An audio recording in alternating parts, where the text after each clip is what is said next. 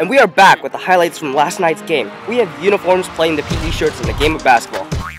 A game played between two teams of five players in which goals are scored by throwing a ball through a netted hoop fixed above each end of the court.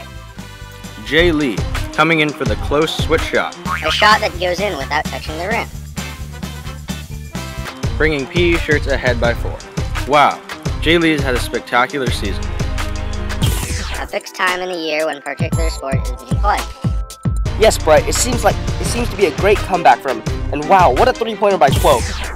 Shot made beyond the three-point line. Here's Cole later with a free throw. A throw granted through a personal foul. Making the first.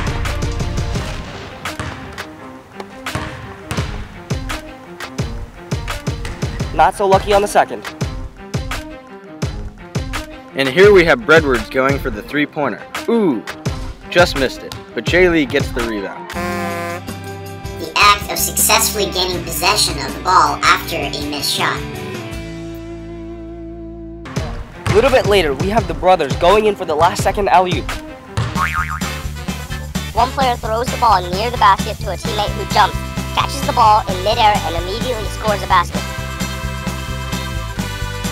and Ethan makes it. What a finish.